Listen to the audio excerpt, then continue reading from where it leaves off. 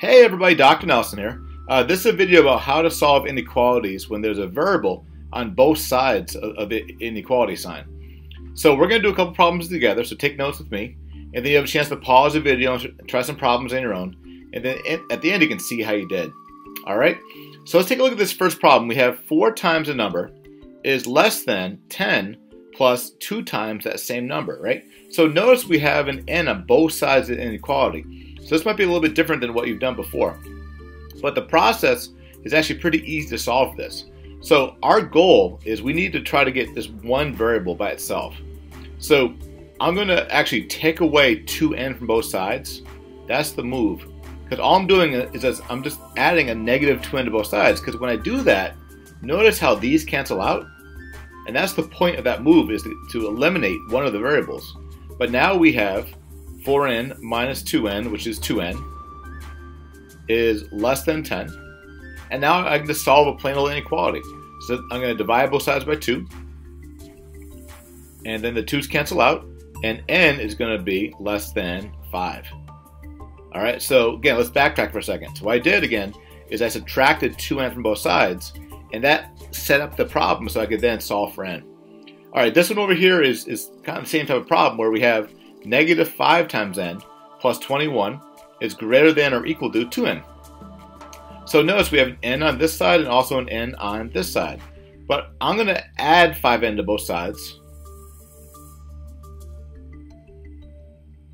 And when I do that, these cancel out, right?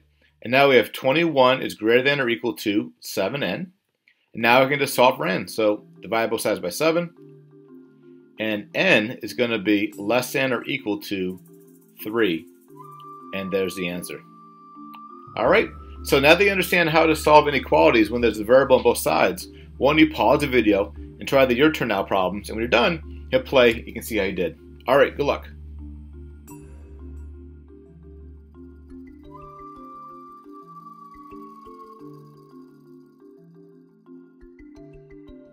All right, welcome back. Let's see how you did with these practice problems. So one thing I forgot to mention in the first part of the video is anytime you have a variable on both sides, you have a choice to make. Like for example, for this first one, I could take away 6n from both sides, or I could take away 3n from both sides. And what you want to do is you, you want to look at the problem and say what, what, what really makes sense, what, what's the easiest. But what, what I normally do 9 times out of 10 is I'll remove the variable that, that's attached to the, the constant. So here we have 18 plus 3n. So I'm going to take away 3n from both sides. And now we have 3n is greater than 18. And then finally, when I divide both sides by 3, the 3's cancel out, and n is going to be greater than 6. And there's our first answer. All right? So over here, I'm going to go by the same premise. I'm going to add 11n to both sides. And when I do that, I have 35 left on, on the left-hand side, which is greater than or equal to well, negative 4 plus 11 is 7n. And then divide both sides by 7. And n is going to be less than or equal to 5. And there's the answer. All right, how'd you do?